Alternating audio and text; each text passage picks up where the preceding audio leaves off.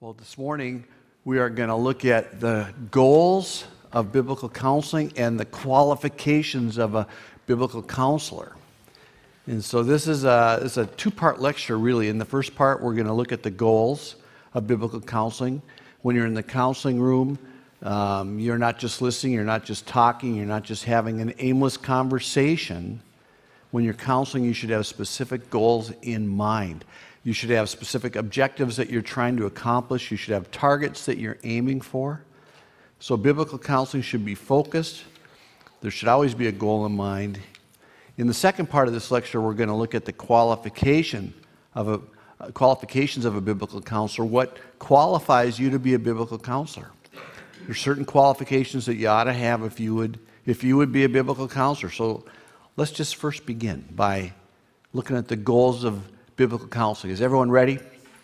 Ready for it this morning? Had your coffee? I see the pens are out. Everyone's ready to go. All right, good. So, what are the goals of biblical counseling? I've listed six goals. This list isn't exhaustive, there may be more, but I want to encourage you to consider these six goals. I want to encourage you to, for sure, have a goal in mind when you walk into the counseling room. Don't be aimless, don't just chit chat have a target that you're aiming for with your counseling, have a direction, know where you want to go. So, what are the goals? First one to present the gospel and by God's grace lead a person to Christ. The very first time a person comes to see you, you should gather enough data to find out to the best you can if the person that you're working with is a Christian or not. You can ask them point blank Are you a Christian? Are you saved? Sometimes that's a good idea, but there's times when that's not the best idea. A lot of people will just say, Yes, I am a Christian, when in fact they, they really don't know what it is even to be a Christian. What I usually do, instead of asking point blank, is I ask them this question, not right away, it's not the first question. I, I get going into the counseling for a while, gather some data, and then I ask this question once they're kind of warmed up and we're talking good. If you were to die tonight and you were standing at the gates of heaven and the Lord asked you, Why should I let you into my heaven? What would you say to him? The answer they give will often tell me if they understand the gospel or not, and it will at least give me an idea if they know the Lord or not. If they say something like, I, I think the Lord will let me in because I've been a good person, which happens really a lot, then I know they don't really have a good grasp on the gospel. Maybe they're a Christian, maybe they're not, but they don't have a good grasp. They don't understand that we're saved by faith in Christ, not works. At least they can't recite that. I, I, I know for sure that they, they need to at least hear the gospel. But even if they say, The Lord will let me in because I believe in Jesus, and I've put my faith in Him to save me, I've received Him as my Lord and Savior, even if they say that, I, I'm going to go through a gospel presentation anyway. And the reason is a person can know how to talk like a Christian and still not be born again. And so I pretty much go through a gospel presentation with every counselee that comes in it. And if they're saved, uh, well, just hearing the gospel will help a person get their heart in the right place to receive counseling anyway. But realize many of the people that you are going to see do not know the true gospel. Many of them are not saved. And you'll need to have a good method of sharing the gospel. You'll need, need to be able to share it well so that they really understand it. And uh, I've mentioned this a lot this weekend, at least in the other class I have. I, I use and highly recommend Dr. Stuart Scott Scott's presentation called Presenting the Gospel in its Context. And it's in your, I think it's in your books. I think it is. Faithfully sowing the seeds according to the scriptures. However, you present the gospel, know that this really is step number one. If, if your counselor isn't saved, you really won't be able to get very far with them. They, they need to hear the gospel and receive it if you're going to if you're going to get anywhere with them. You, you, that's the first goal to present the gospel and by God's grace lead a person to Christ. Let's look at a second goal. The second goal is to help a person get to the place where they really want to live for the Lord. let's say you're working with a Christian, the counselor is saved, they're coming to see you because there's a problem in their life and they need help. Many Christians, over time, get themselves in a condition of lukewarmness. They get themselves in a place where the Lord is no longer the priority in their life. They can't honestly say they're living for the Lord. And the truth is, many of the problems that people present with would be eliminated if the counselee was first and foremost living for the Lord. For instance, how many marriage problems would be eliminated? I use marriage problems a lot because that the majority of the people that come into the counseling room are coming for marriage problems, probably 90%. How many marriage problems would be eliminated if a husband or a wife were truly determined to live in ways that are pleasing to God? How, how many marriages, how many, how many problems would be gone if the husband or wife, from their heart, were purposefully living to honor and please Jesus Christ? A lot of the problems would have never occurred in the first place. Our goal, our, you, one goal you should have as a biblical counselor is to help a Christian get to that place where they truly and really with passion want to live for the Lord. If a Christian gets to that place where they want to, from their heart, deny the sinful flesh and truly follow Jesus, I'm convinced that half or more of their problems are already solved just by getting to that heart attitude, just by getting there. Half their problems are solved. And so I try to help a Christian get to that place. I want to see them get to that place where they, where they just, I can't even emphasize this enough. I'll probably say this a hundred times this weekend. Maybe I won't. That's exaggerating. But I, I really, one thing I really try to do is get my counselees to get to that place where they want to live for and follow Christ Jesus from their heart. That is, that is such a big goal. And this might sound different and this might seem a little strange, but one of the best ways that I know of to help a lukewarm Christian get to that place where they really want to follow Jesus is to talk about the doctrine of election. You, you do what works for you. That's one of the things that works for me. I, and I'd like to spend a full lecture on this maybe another time, but in a nutshell, here's what we go over. I, I'll just make this like a little quick thing for you. We're born with a sinful nature. Our hearts are naturally hostile towards God. This is not what I'm telling my counselees.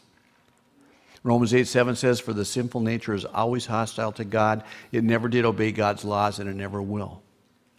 And so I let them know we, we would never seek God on our own. Romans 3:11 says no one understands, no one seeks for God. I mean the Bible comes right out and says it. No one seeks for God. And that means that if Jesus died on the cross and made the way for our salvation possible, if he did all that needed to be done for our salvation, and then he left one final step for us to do, to simply come to him of our own free will, not one person on this earth would be saved. And that might sound a little bit strange, but the Bible says in John 6:44, "For no one can come to me unless the Father who sent me draws them to me, and at the last day I will raise them up." No one can even come to Christ on their own. God must first give them a new heart. No one can come to Jesus unless the Holy Spirit first causes them to be born again, and then they'll come to Christ. Left to ourselves, we would all be lost. Our sinful nature is too hostile towards God to ever come to Him on our own. Romans 8 7. Again, for the mind that is set on the flesh is hostile to God. It does not submit to God's law. Indeed, it cannot. But God, before the foundation of the world, chose and loved a particular people, and He gave these people to Jesus. In John 6 37, it says, However, those the Father has given me will come to me and I'll never reject them. Of all the people whom were given to Jesus, Jesus said he will lose none of them, not one. John 6:39, and this is the will of God, that I should not lose even one of all that he has given me, but that I should raise them up the last day. I'll go over these passages with my counselors and go into more depth with it. I'm just kind of going quickly here. And I'll raise the question after I go through these passages why is it that you're saved? I'm talking the Christian couples right there in front of me. We'll go over these passages and I'll say, Why is it that you're saved? Why is it that you have been given eternal life? Why is it that you will enter heaven one day? Why is it that you're a beloved child of God? And the answer we go over is this because God, for his own reasons, chose to love you and elect you to salvation and make you one of his children before the foundation of the world. He could have passed over you and left you to yourself. And had he done that, you would most surely be lost, but he didn't. He loved you though you didn't love him. He chose you even though you wouldn't have chosen him. And he saved you or you would have never been saved. He did it all. God chose to love you, and Jesus died for you on the cross, and the Holy Spirit at the appointed time caused you to be born again. And now, completely by God's grace, you are loved and saved, and it was completely a work of God. And we go over this much more thoroughly than I just did, but I have found that this knowledge, this realization, tends to make true Christians feel remorse for their sin and sorrow for their lukewarmness, and they tend to have a renewed desire to love and follow the Lord Jesus. If God, through His Word, brings your counselor to that place where they really want to live for Jesus, you've solved half of their problems before you've even looked at their problems. It's really true. And there's something very humbling and something very heart changing about realizing the truth of the doctrine of election. It's something we don't talk about much, but it's amazing what that does to humble your heart. And so, a second goal of biblical counseling is to help a person get to the place where they really want to live for the Lord. 2 Corinthians 5:15 says, "And he died for all, so that they who live might no longer live for themselves, but for him who died and rose again on their behalf." Let's look at a third goal of biblical counseling. Third goal is to lead a person to repentance over their sin. This is similar to the last goal in that you're using the scriptures to help a counselor get their heart in the right place. Repentance means a change of thoughts leading to a change in behavior. The repentant person becomes aware of their sin against God and they're grieved over it, they're sorrowful, they seek God's forgiveness, and they, they pray for help to truly change. With genuine repentance, the real thing, there's a, there's a feeling of sorrow, there's a brokenness over sin, there's a contrite spirit. A person's not merely sorry because they got caught in some sin there. They're sorry that they've sinned against the Lord. In a biblical counseling, when a person is caught up in some kind of sin, one of the goals is just to lead a person to genuine repentance. Now, understand genuine repentance is a gift from the Lord. We can't manufacture it in our counselees. But listen to this verse closely. It tells us what we can do and what we must do. 2 Timothy 2:25 it says opponents must be gently instructed in the hope that God will grant them repentance leading them to a knowledge of the truth. When someone is in some kind of sin, we are as counselors to gently instruct them in the truth, in the hope and the prayer that God will grant repentance. Many times a person will come into counseling, they're, they're caught up in some sin. And you show them gently from Scripture that what they're doing is wrong. It's sinful. And many times you'll see a change of heart in the person. You'll see a brokenness over their sin and a resolve to change. And when that happens, God's granted repentance. Let's go to the fourth goal in biblical counseling. Fourth goal is to help a person solve a problem in their life biblically. When we counsel people, we want to share the gospel. We want to see them come to a place where they want to live for Jesus. We want to see them repent over sin. And we want to help them solve problems in their life biblically. So sometimes a husband and wife will come in and their marriage is a mess. Suppose they get saved and they get to that place where they want to really live for Jesus. They're broken over their sin. Their, their hearts are now in the right place, but they still need help to solve the problems in their marriage. Perhaps they've developed a role reversal. She's the one leading. She takes charge. He's the one following. He's abdicated his position of being the head. This couple, even though they've repented and their hearts are in the right place and they want to follow Jesus, they still will need the nuts and the bolts of how to change the wrong patterns in their marriage. They'll need biblical instruction, and that's what you do. They'll need practical homework, they'll need accountability. And so, a good portion of biblical counseling will be helping people to solve problems in their life biblically. Let's go to a fifth goal to help a person grow in their sanctification. As Christians, we don't remain static for very long. It seems that we're either going forward or going backwards. It's, it's really true. Charles Spurgeon talked about, I believe it was him, talked about that, that being a Christian is like climbing up a mountain. And, and, and, and you stop and you start sliding down, or you keep pushing forward. And it seems that way, doesn't it? And so we, we're either growing in Christ likeness or we're slipping into lukewarmness or even backsliding. It's just the nature of how we are. We're growing or we're shrinking. One of the goals of a biblical counselor is to help a counselor to be growing in sanctification, to be growing in Christ likeness. When you're counseling, you're helping a person to be conformed to the Word of God. You're helping a person put off the old sinful man and put on the new creation. You're helping a person to grow in their obedience to Christ. You're helping a person to grow in their love for their neighbor. You're helping a person to grow in their patience and their kindness and their faithfulness. And so, one of your goals is to help a person grow in their Christian walk, their Christian life, their maturity in Christ. You do this through instruction, you do this through practical homework, through prayer, through discipline, training, and righteousness. Let me give you one more goal. Number six.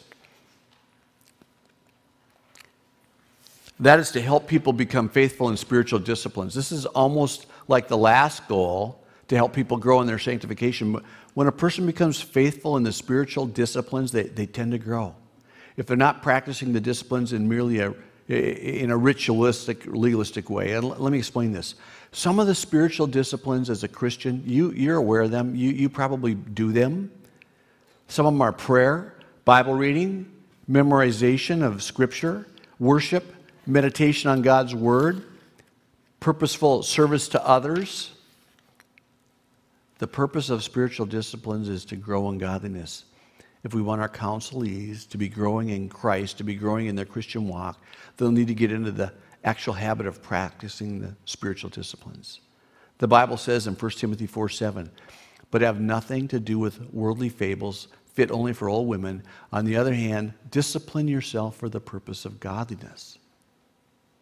And so the Bible says, discipline yourself for the purpose of godliness. In other words, be disciplined in the pursuit of godliness.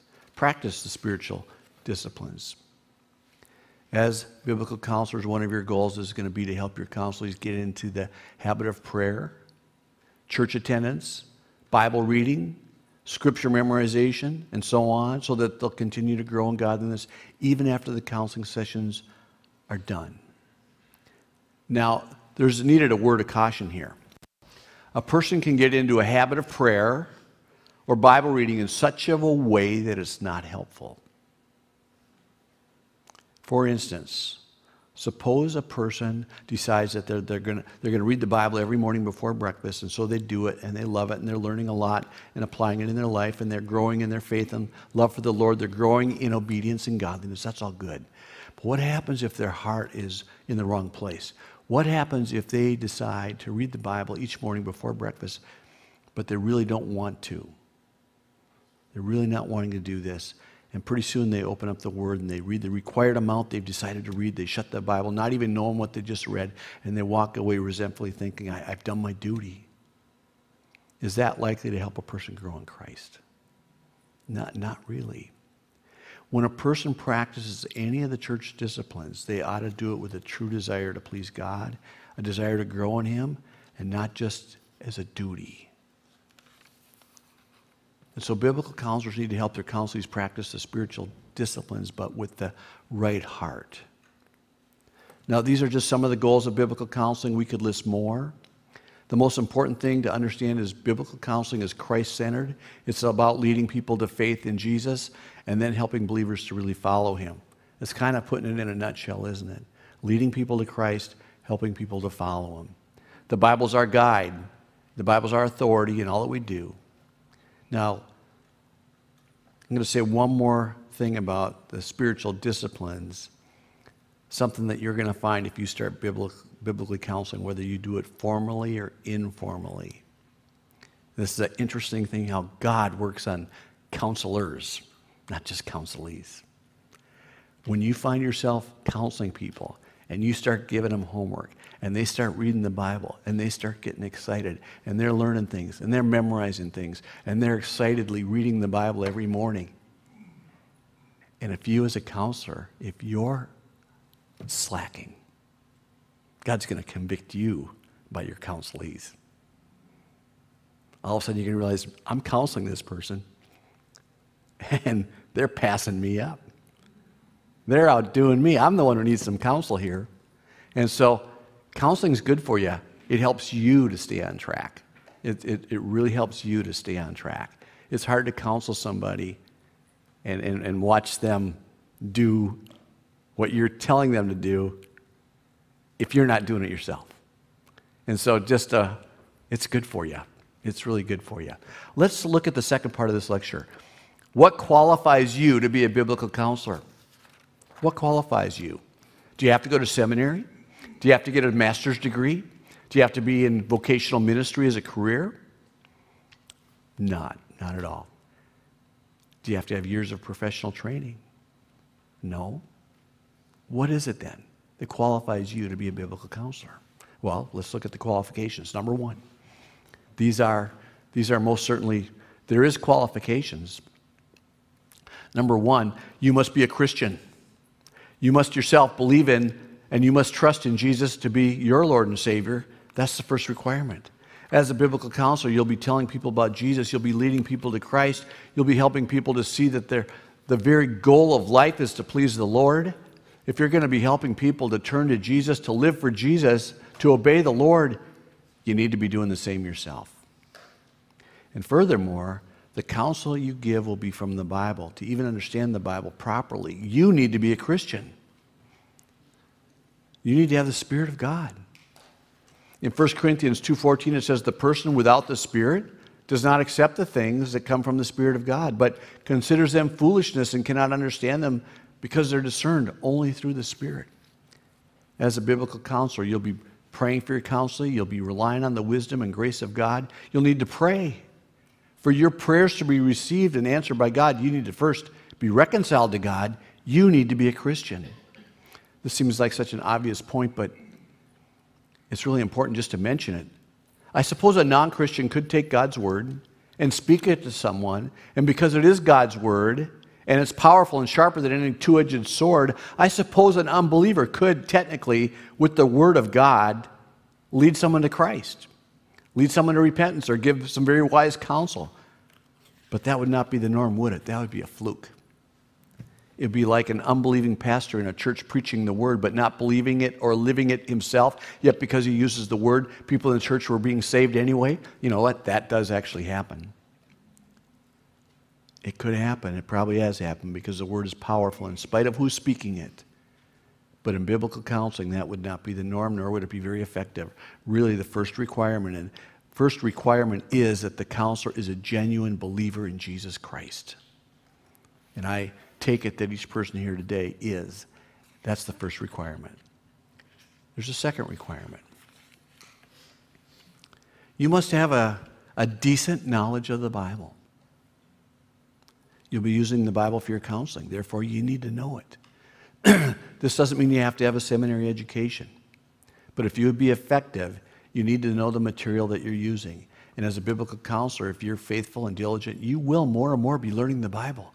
If there's some of you right now who think, well, I don't really know the Bible that good, well, you will. You will. You start reading it and you start counseling it, and you will. You'll discover things in it that you didn't know before.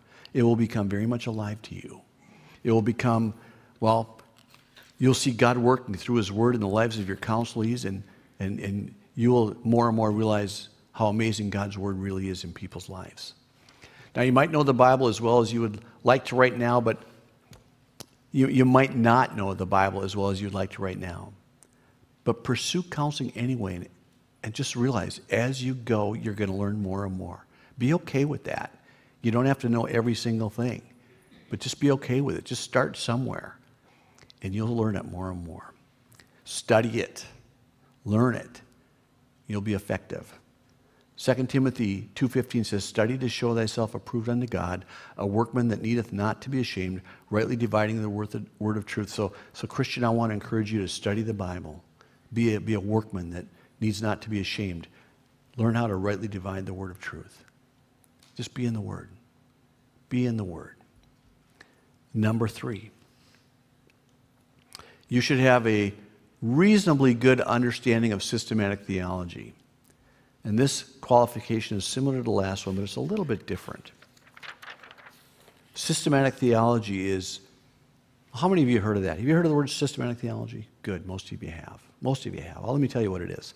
Systematic theology is when you take all that the Bible has to say about one subject and just put it all together.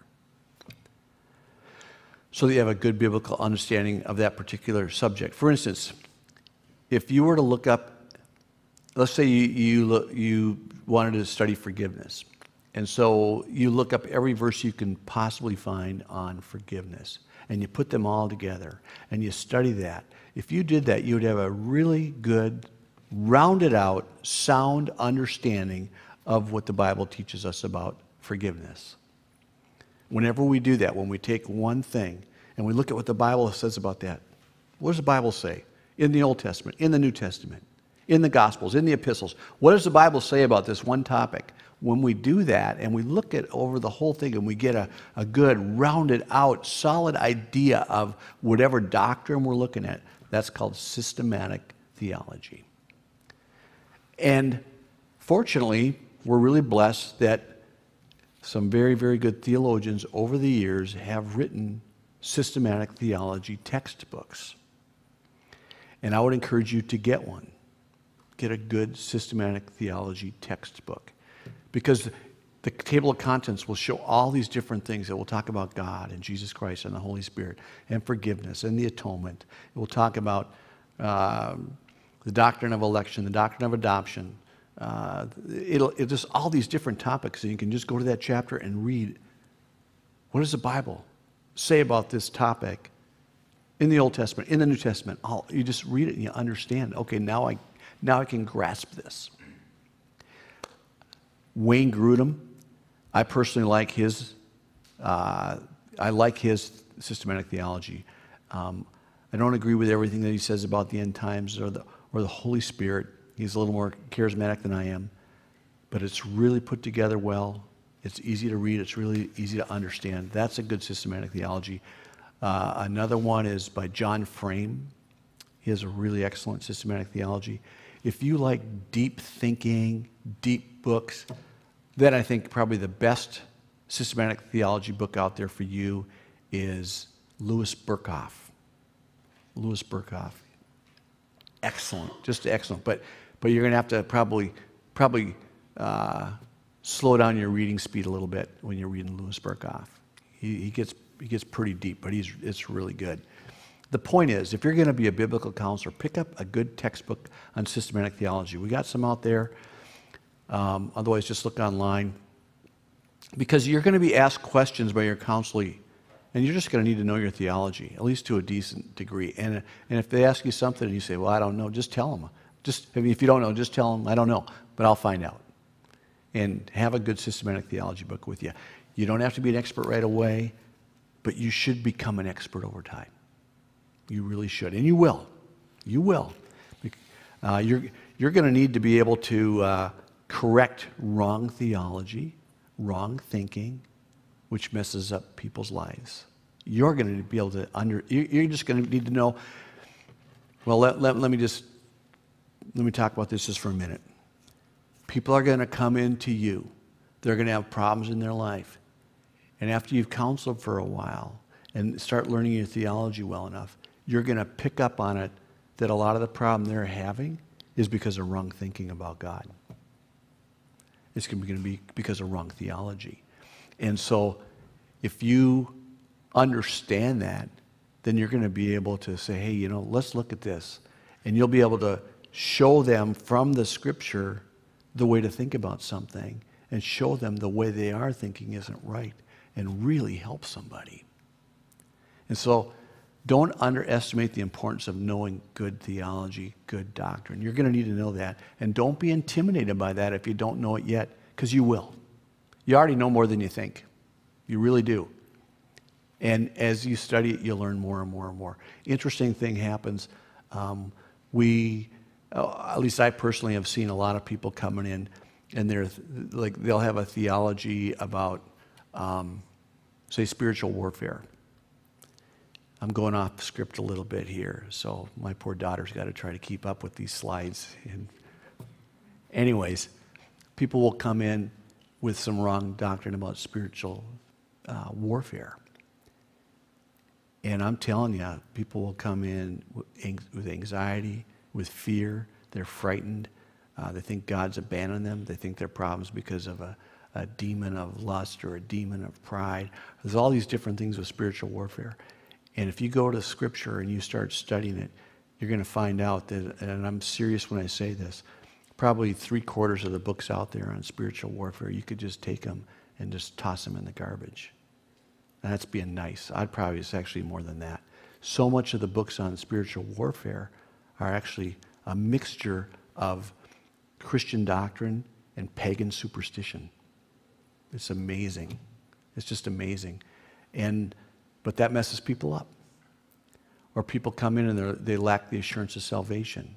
And you got to doctrinally go to Scripture and show them how to gain assurance and why you can have assurance. So you need to know your theology. And you will. You will. Don't be intimidated by that. You'll, you'll know it. Let's look at the fourth qualification.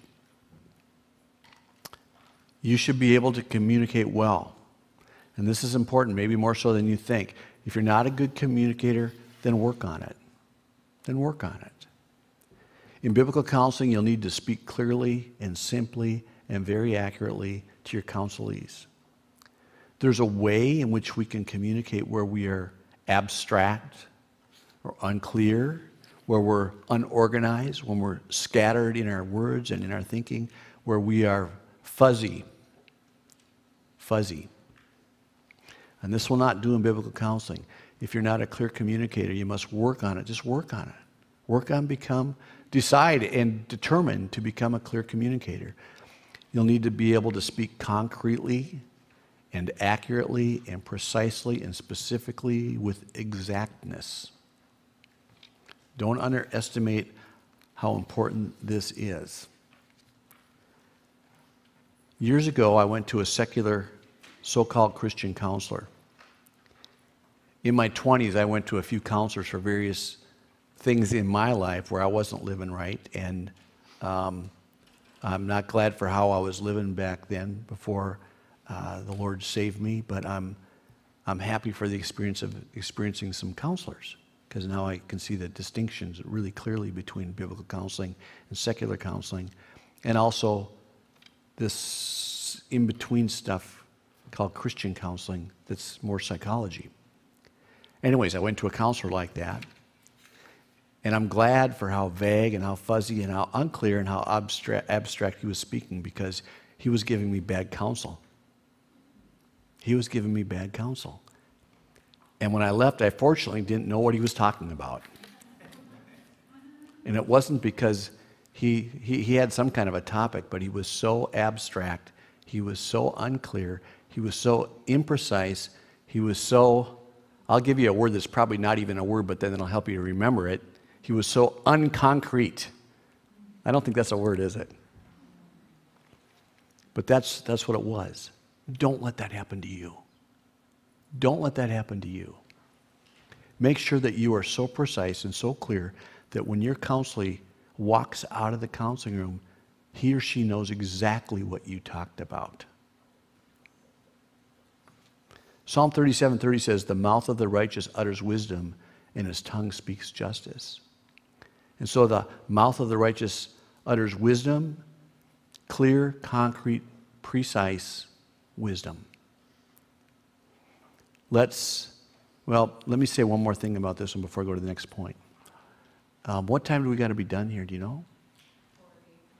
Okay, so we got 20 minutes. When you're speaking concretely to people, two things about that. And you'll hear about this more probably from Randy Patten. You'll hear about this. And maybe you've already heard about it a little bit. Have, has anyone mentioned yet um, the difference between ministering the word and dispensing the word? Okay. To minister the word is to take, like, someone comes in, with, they, they've got a problem, you want to work on that, and you take a verse and maybe one or two verses, typically one verse, that really speaks to that issue. And you'll spend that session and you'll exegete. You'll draw out from the text what is the meaning of this text? What is the author trying to say to the reader? What does this mean? And now that we know exactly what this means and exactly what the Bible is saying, how does this apply to your life, to your specific circumstance? That's ministering the word. You take a verse and you look at it deeply and you apply it deeply and specifically and concretely to the situation. That is ministering the word. Dispensing the word, on the other hand, is taking verse after verse after verse and kind of skipping them over lightly and not really looking deeply at any, any of them. And it's just like, here's, here's what the Bible says here, here, here, here, here, that kind of thing. It's just going over a whole lot, but everything is so shallow. You're way better off if a counselor comes in to see you to drive one point deeply than to go over a broad area in a shallow manner. So minister the word. Minister the word concretely, precisely, deeply. And one more thing about that use words that a five year old could understand. And I don't mean that in a condescending way, not in the least, not in the least. But don't, if you know some theology, don't try to, to impress your counselees because you're using big fancy words.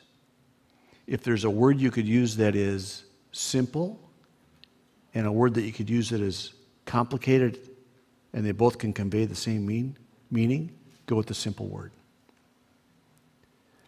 you talk in such of a way that if, if a five year old was in there, they would be able to walk out and know what was going on. And again, that's not condescending, that's just being wise. It's just being wise. And by the way, no one is so smart, and I'm quoting this from someone and don't remember who it was, probably Martin Luther, because I really like to read him a lot. No one is so wise that they cannot be taught something by a five year old. Isn't that true?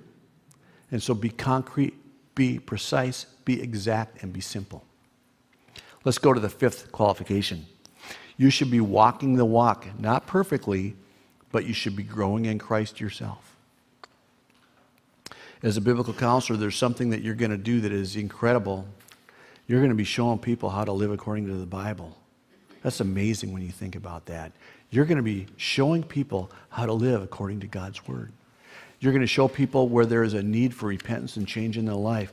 And you're going to instruct them on how to correct what is wrong. And you're going to give people homework on how to put into practice living for the Lord practically. That's amazing. And in order to do this for other people, you need to be doing it yourself. You and I, we won't be perfect. None of us are without sin. But if you're going to be telling a person, if you're going to be telling a man how to love his wife, you need to be loving your wife.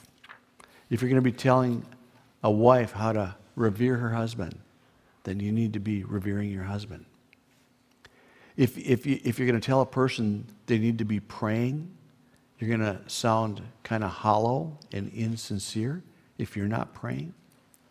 If you're going to be telling someone to repent from some sin, you're, you're, you're, you're going to not sound very convincing if you yourself are practicing that same sin. Now, this doesn't mean that you won't be struggling with sin. You will, because you're human. But just as you're telling your counselors that they need to be changing and growing and becoming more like Christ, you too need to be changing and growing and becoming more like Christ. You need to walk the walk if you're going to talk the talk. And it's amazing how many times when you go into that counseling room that you find out when you left that God was using that session to counsel you more than the counselee. Because we're just sinners helping other sinners, right? So be humble and walk the walk to the best you can with God's grace and God's help. Ephesians 4:1 says, I therefore, a prisoner for the Lord, urge you to walk in a manner worthy of the calling to which you've been called.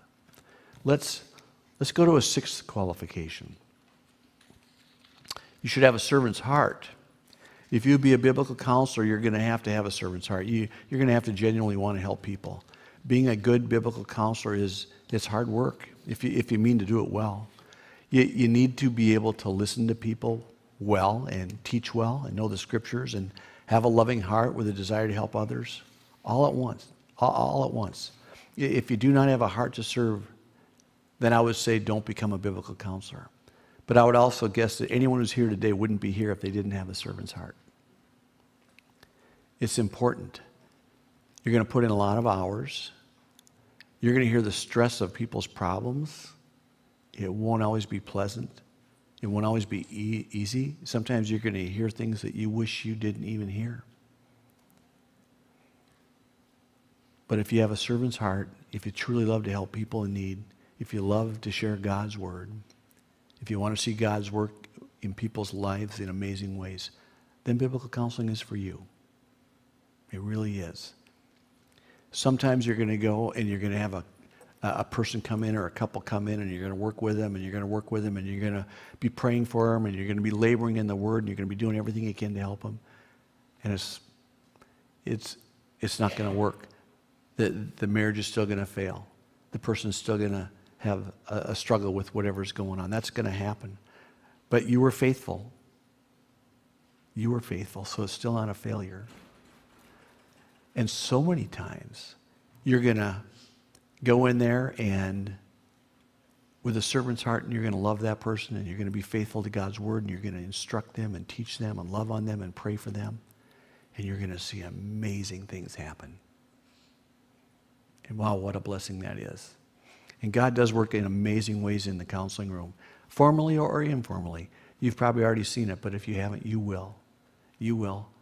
Sometimes I've had, uh, this is so neat. You'll, you'll be affirmed in God's word too. I've had times where I've had a, a couple sitting right in front of me where I wasn't getting anywhere. And I, I was working with them for several weeks and I wasn't getting anywhere. Wasn't getting anywhere.